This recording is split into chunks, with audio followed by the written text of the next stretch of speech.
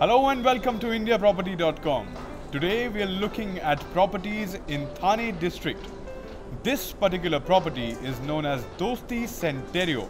Dosti Centerio is spread out over 25 acres and comprises of 23 towers of 28 floors each.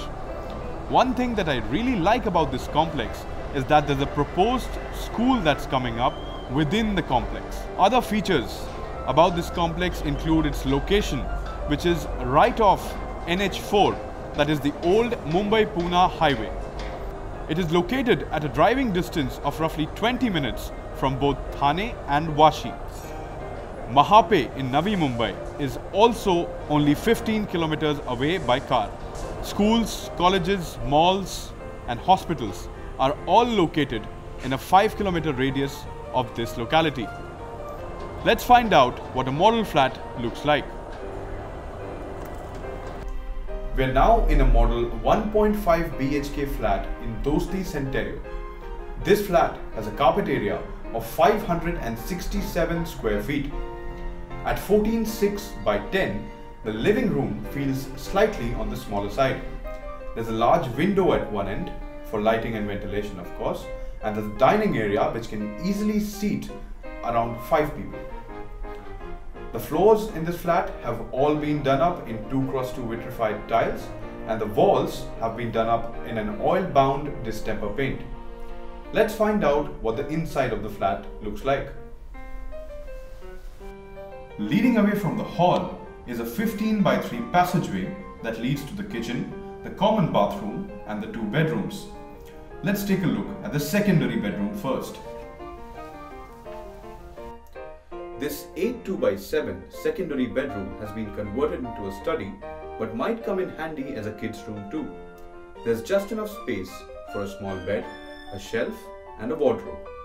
A large window on one side provides a healthy dose of light and air and there's no attached bathroom of course. However, electrical fittings have been placed at convenient spots. Let us now check out the master bedroom. The 11.6 by 9.6 master bedroom of this apartment actually feels quite spacious. Not sure if it's a fair compromise for a smaller hall, but that's completely up to you. There's an attached bathroom and toilet in this room and also a large niche in the wall where you can install a wardrobe. There's a window right here for fantastic lighting and ventilation. Electrical fittings have also been placed at convenient locations. Even the fittings on the doors and the windows seem of good quality. Let us now take a look at the bathrooms. The attached bath and toilet and the common bath and toilet have both skid-proof tiles on the floors and glazed designer tiles on all of the walls. The fittings are Jaquar and hence of good quality. Overall, good feel. We're now in the kitchen of this apartment and I must say I really like it. After all, how often do you come across a kitchen where you can spread your arms? That is exactly what you can do here considering how wide it is. There are two countertops, both granite, and the main countertop has a sink at one end. There's also a small window which should be good enough for lighting and ventilation, although I don't see a spot for a washing machine. One important thing about Dosti Centerio is that at a distance of 3 to 4 kilometers from here, Mumbra station is the closest railway station. Apart from these, the amenities offered at Dosti Centerio include a modern clubhouse with a gym and an indoor swimming pool, a library, a kids play area, a landscape garden, the works. Thank you for watching this India property video review. We hope this review is helpful to you.